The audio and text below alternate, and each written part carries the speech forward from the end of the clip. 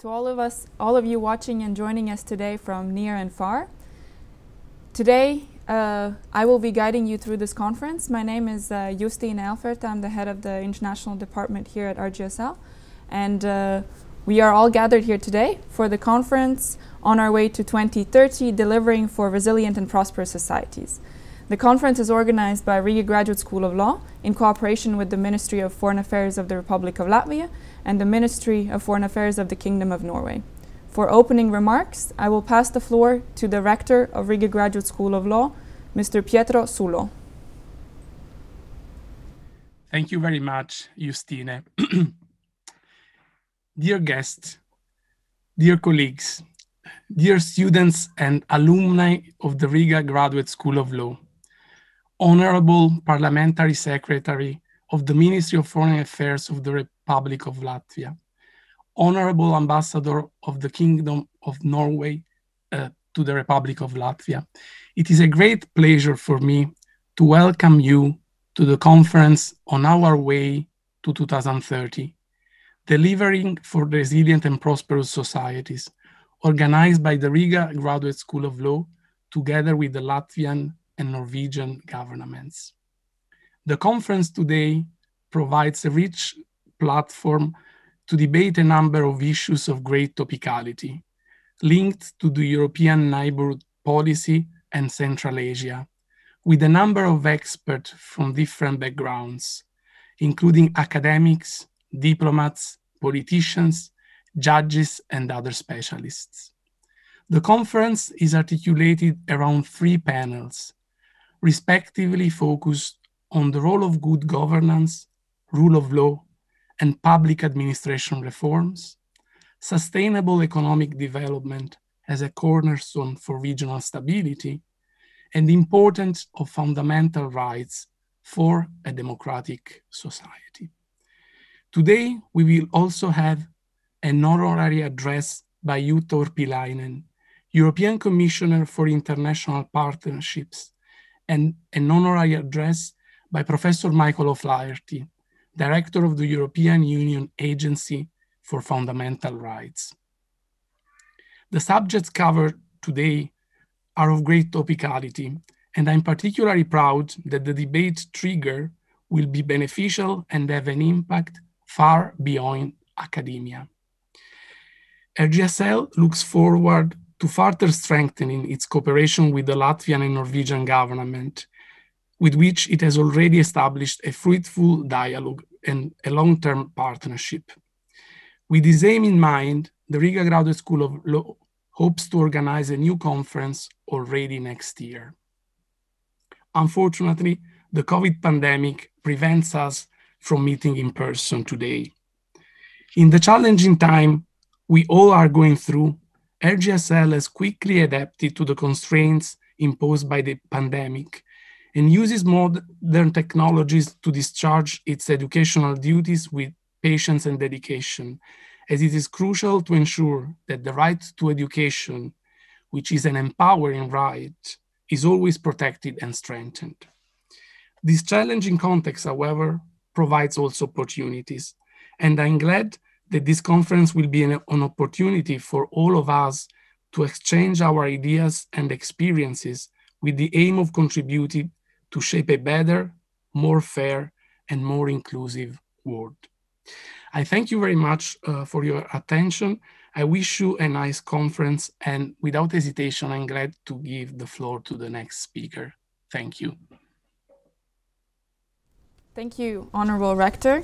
Um, for the next uh, remarks, I will pass the floor to Dr. Zanda Kalniņa Lukaševica, the Parliamentary Secretary of the Ministry of Foreign Affairs of the Republic of Latvia.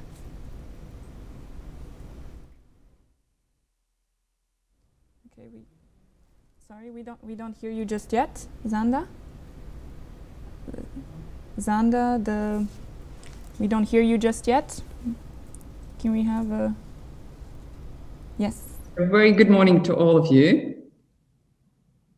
Yeah, so uh, dear Rector uh, Sullo, dear Ambassador Ødegaard, uh, dear Justine, uh, dear colleagues and distinguished guests, uh, it's indeed a pleasure to take part in this conference today.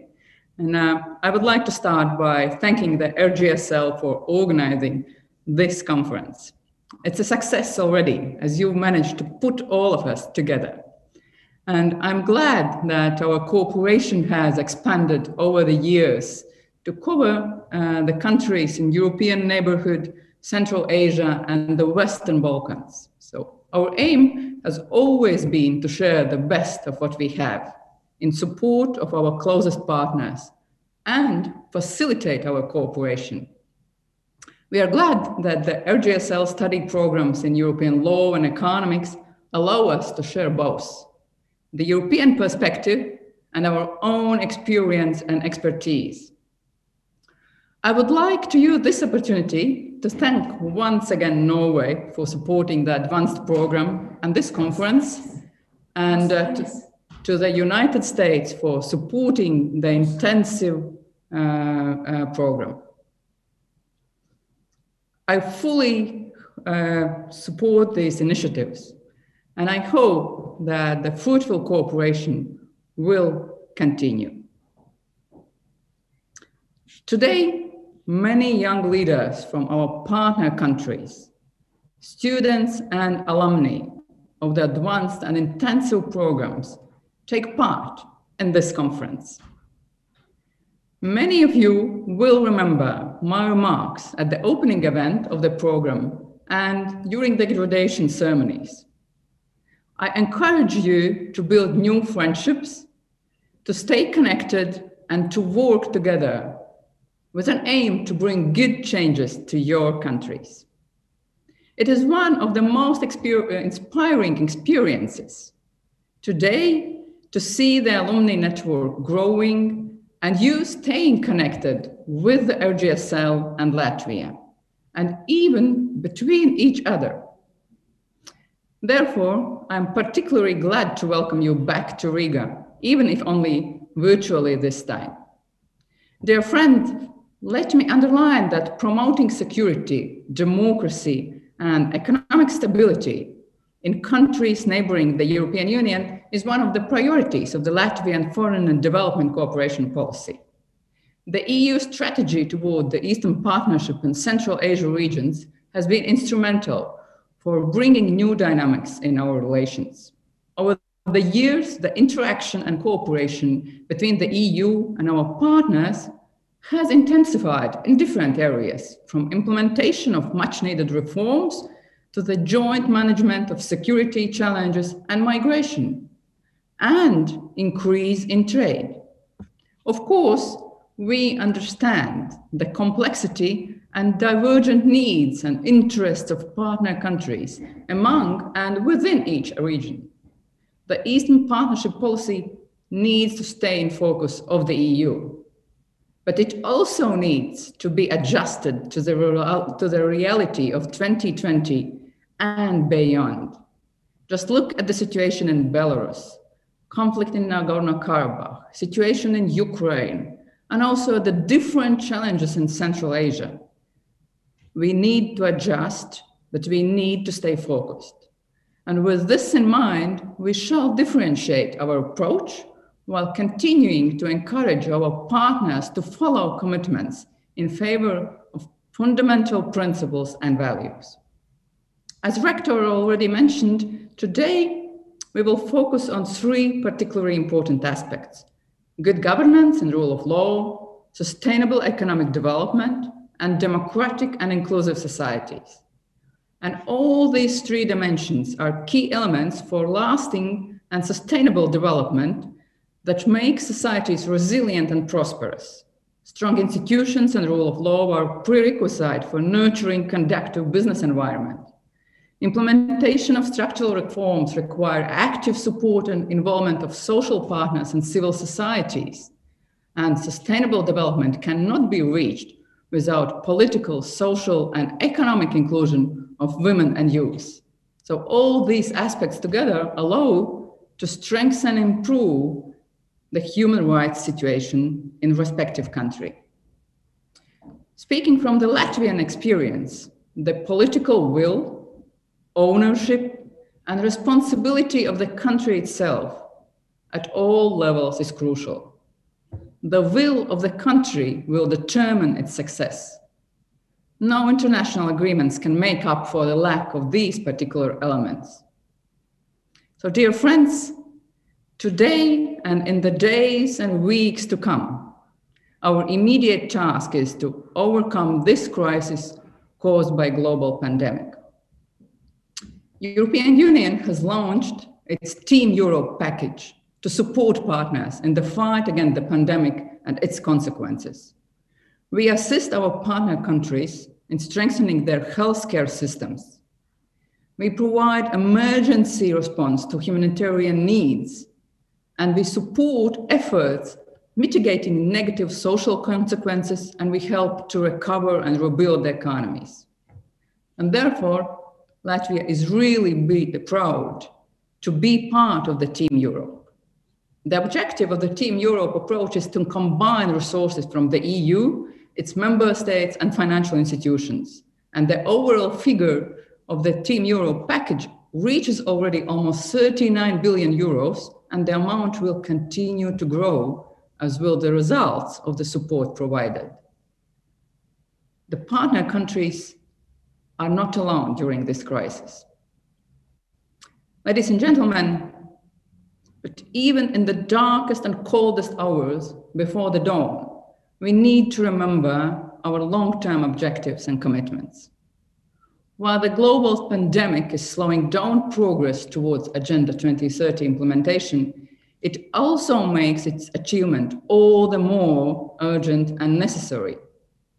Agenda 2030 remains the overarching roadmap for development and the best blueprint for the building back better after the crisis. The next 10 years, and as we know in the United Nations terminology, the decade of action will be instrumental to accelerate the implementation of the Sustainable Development Goals. However, this decade of action is taking off in an entirely different context than we planned or expected. To mention one example, the COVID 19 crisis has facilitated digital transformation of many aspects of in our lives. And we should make the most of the opportunities it provides in all three areas good governance, sustainable economic growth, and power of democracy. I hope and I believe today's discussions will provide good insights, new ideas, and maybe even some new commitments for action. And for the alumni and students of the programs in European law and economics, it definitely provides an opportunity to enjoy the spirit of the discussions characterizing the RGSL, as well as an opportunity to reconnect and renew your commitment to stay connected. Ladies and gentlemen, I wish you all a very productive and inspiring conference today. Thank you. Thank you so much, Parliamentary Secretary. Your words are always very inspiring and encouraging, and uh, I am certain that the conference will live up to all of the expectations that uh, we now face. uh, now, I will pass the floor to another long term partner of the Riga Graduate School of Law, the ambassador of the Kingdom of Norway to the Republic of Latvia, His Excellency Kristian Ødegaard.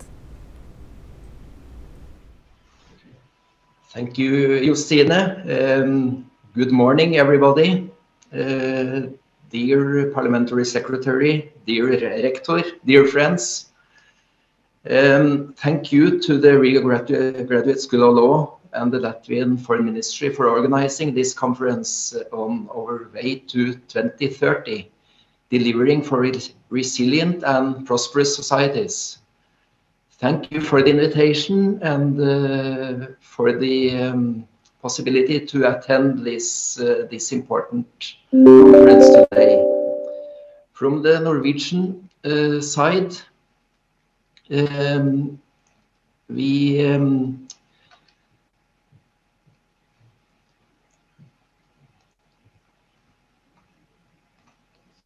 We, um, we are happy to support both the Riga Graduate School of Law and the Latvian efforts uh, by Latvian authorities to reach the ambi ambitious goals uh, that we have set.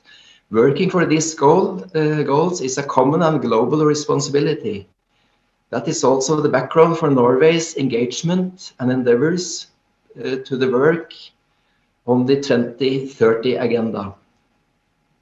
Norway's Prime Minister Erna Solberg was appointed by the UN Secretary General Antonio Guterres to share the Sustainable Development Goals Advocacy Group uh, together with the President of Ghana.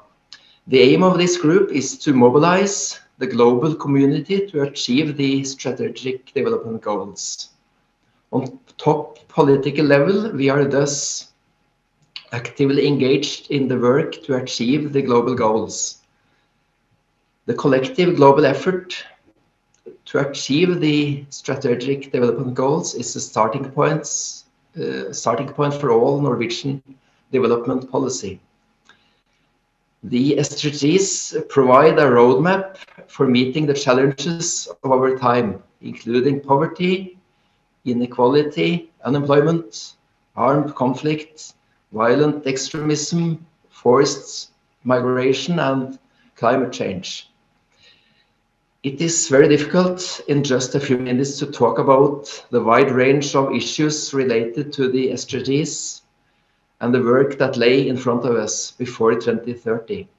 With 17 goals, 169 targets, an immense number of events, reports, publications, and actions, it's impossible to cover everything in today's conference. I do, however, think that we will shed light on a few main issues in the panel discussions.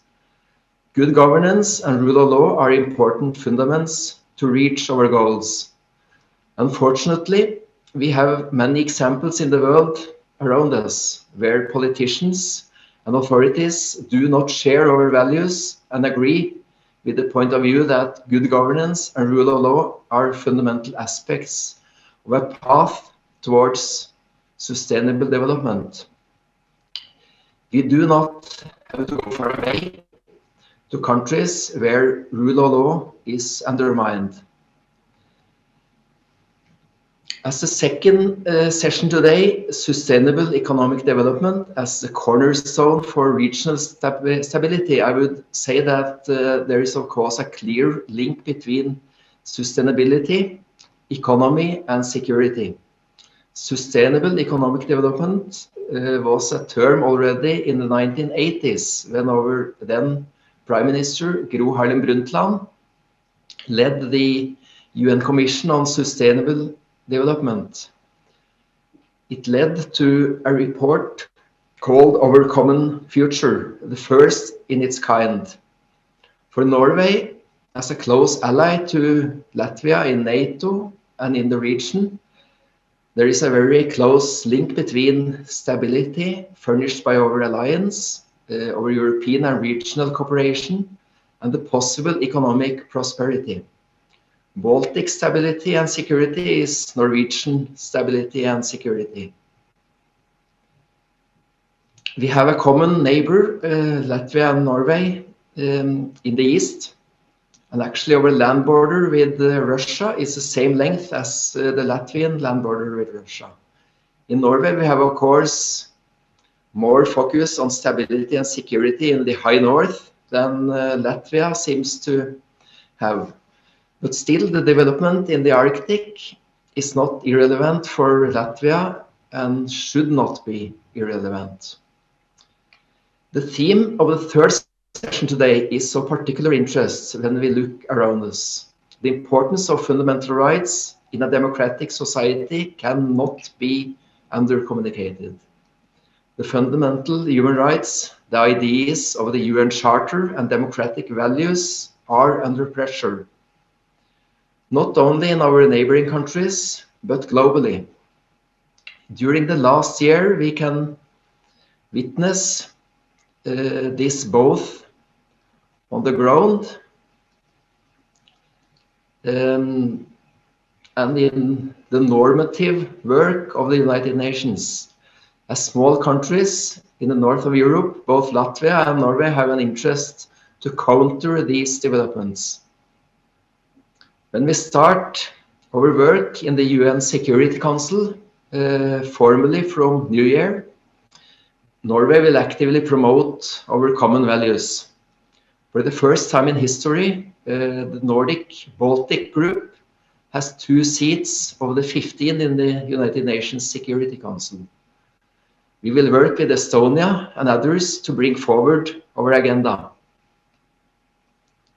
As communicated by our foreign minister um, to the Norwegian parliament this week, um, Norway's four main priorities in the United Nations Security Council will be first, peace diplomacy.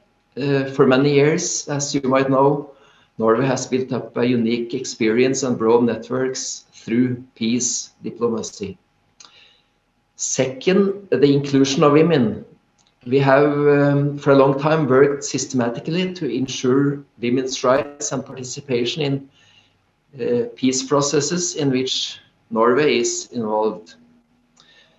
Third, the protection of civilians. Norway will work for the protection of civilians in armed conflicts, including protection of children. And fourth, climate and security. Climate and conflicts are interlinked and climate change often exacerbates underlying conflicts. I think these four priorities also cover many of the topics to be discussed here today. So good luck with today's conference and I look forward to following the discussions on, uh, on these very important topics. Thank you. Thank you, Honorable Ambassador.